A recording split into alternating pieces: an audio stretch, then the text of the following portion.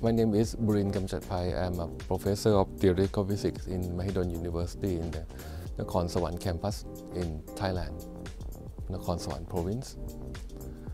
So this is the clip that I try to make and make clear that uh, you, uh, most of the physics students will understand what is the system and uh, what is the property of the matter of the system.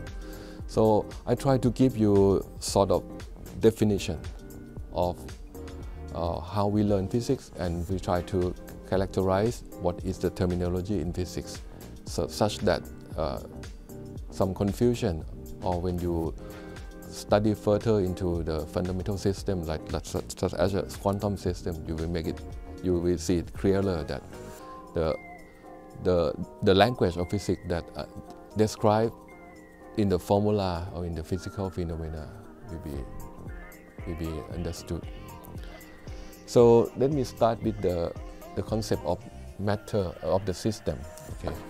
So, so far most of the time we learn from chemistry.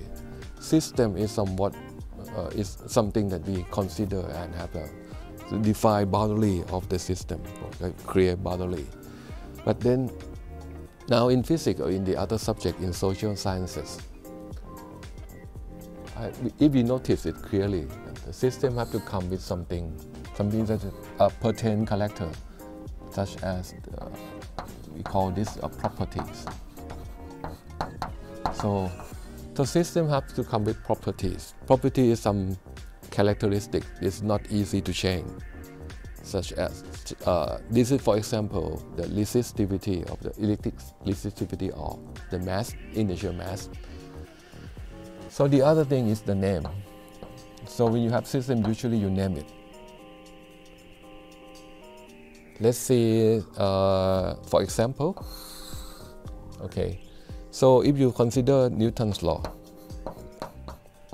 I'm talking about the system paradigm where you have a system and you have the, the influence, influence, sigma F is a force and the mass is the properties. And the change in the state is actually the state of the motion is the velocity is the state. So in the system paradigm you have the influence the properties and the state the change of state. This is something very similar to Ohm's law where you have the uh, voltage different this is the influence. And then you have electrical resistivity and then you have the change of the state. The change of the charge passing through uh, surface area in the conductor in the conductor rod or wine with this rate of change per time. So in this concept you will have the influence here the property here and the change of state here so this such a law you can see it's the most of the time in physics and social sciences, including the demand and supply law in economics. You can also organize the, the equation of state in thermodynamics in this form as well, which I can tell you in the later, uh, later occasion. So you can see that if resistivity is very abstract, it's a conceptual. It's not something you can touch, you can feel, but it's a concept of something resist the, the flow. Just like the mass, the mass is not the matter. It's not something like you have a shock, dust. But the mass is the resistivity of the change of motion V. So now mass is a conceptual. It's not something you can touch. And mass surely is very different from matter. Okay. So here you can see the name here is, is matter. Why this is the name of the system and property. Property is is a mass and it might be the charge, it might be the spin, or it might be the heat conductivity or heat resistivity and so on. And most of this this thing in the like electrical resistivity too. If you talk about the composite system or some, some larger system, you will have uh, this electric, the conductivity or the resistivity and most of the time this change with the temperature because it is a complex system. When you talk about single particle single field, you will talk about mass, charge or spin only. only. Right. So now we, we know that matter is just a name. It's a generic name of something. Like this matter can be table, can be a chalk, can be me, or can be electron. Right. So don't confuse when you say electron and you said put E here. Uh, this is the name of the electron. electron is like that. When you put E there, it's a charge. This one is a property and this one is a name. Is a name. So when we see, okay, a friend of mine okay, walking and see me and uh, along the corridor and you see him. Actually, I what I see is not actually a friend of mine, but actually what I see is the shape of a volume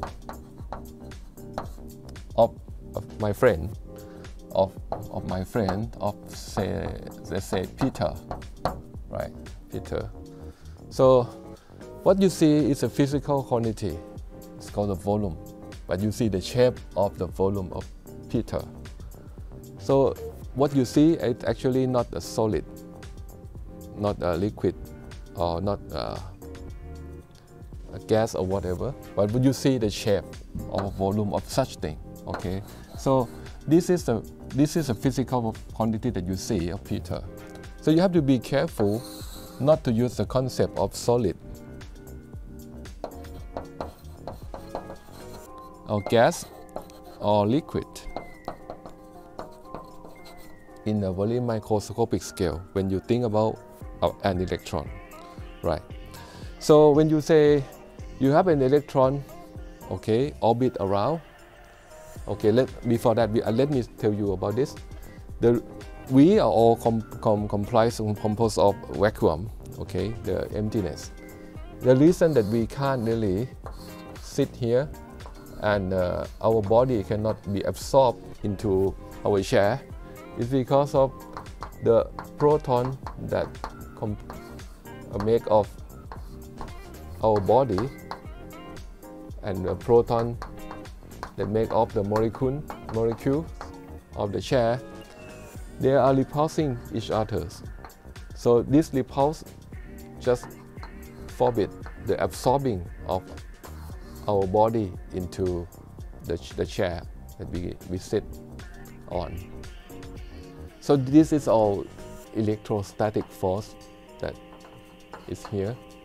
And then the, the model that means actually if you have a hydrogen atom, hydrogen uh, nucleus, which is such as a proton, there at the size of the basketball, the ground state inner orbit, the distance of the ground state electron, the, the property to find the electron in the ground state is actually 1 km, 1 kilometers apart from the proton. Let's see if you have a proton here, the size of about approximately a basketball or volleyball.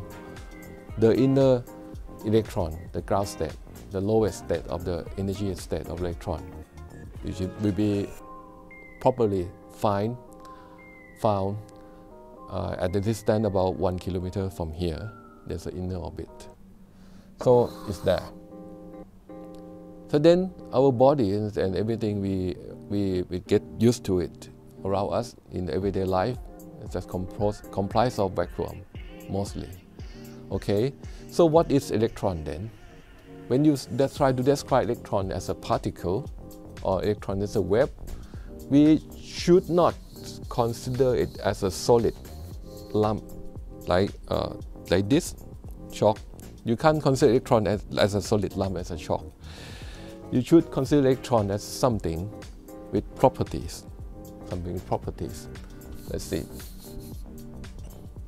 So now we, if you have a proton here, and the quantum mechanics say that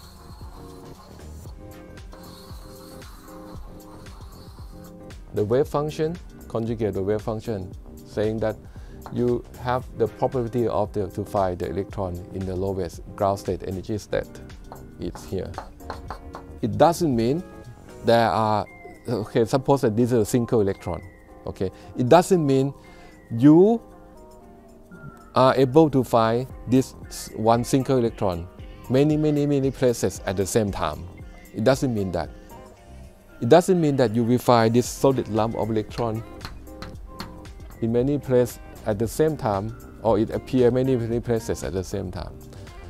But it doesn't mean that the electron is you know solely as a wave like you see the ripple of the wave in front of your eyes. No. You have to, to be careful that when you describe the electron as a particle, it's, a, it's about how you describe it. But then you describe it, you try to use the everyday life concept to describe it.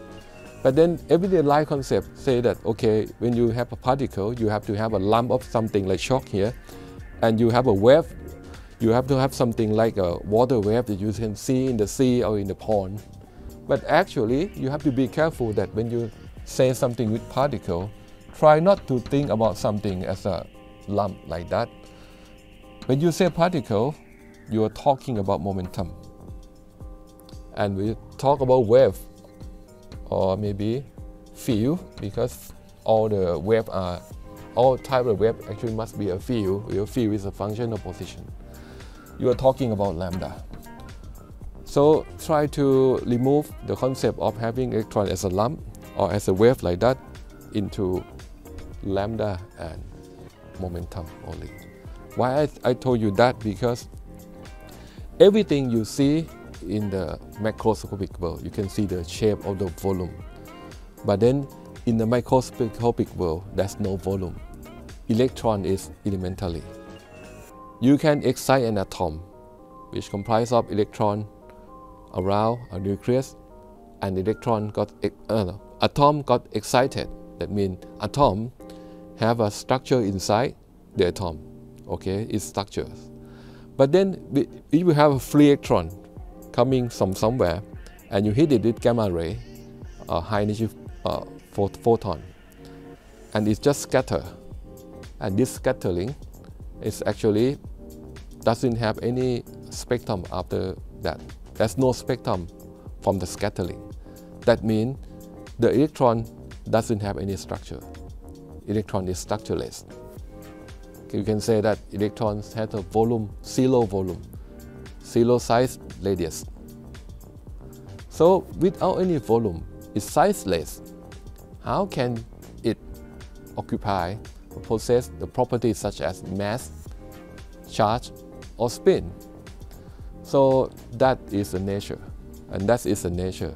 That means somewhere structureless, volumeless, you can have mass, charge, and spin, and this is reality. Then when, if you can take this concept, when you think about the crowd of electron in quantum mechanics, you must not say that there's a chance to find a lump, a lump, lumpy piece of particle somewhere called electron many, many places at a time, or the high probability to find it here rather than here. You can't say that. But you better say that there is a high probability to, to measure, to detect a system with property M, E, and spin in this area. So the physical entity now is not a lumpy solid. The physical entity called electron or matter in general is not a solid lump. It's not the encapsulated system. But all the physical entity that we, we are built of, we see are just the properties. made of only name and properties only. And it doesn't come with any volume. Fundamentally, it doesn't have volume. The volume that we see, the shape of my friend, the shape of the volume of my friend Peter, is just an illusion. It's just an illusion in the macroscopic world. So the reality inside, down into the fundamental, doesn't have any volume. You, what is most important in the fundamental nature is the properties. Okay, thank you. I, I hope this is uh, can be useful for your, for the student or for anyone who come into theoretical physics. Thanks from NAS uh, Nakhon Sawan Studio for Advanced Study in Mahidol University, Nakhon Sawan, Thailand. Thank you very much. สวัสดีครับ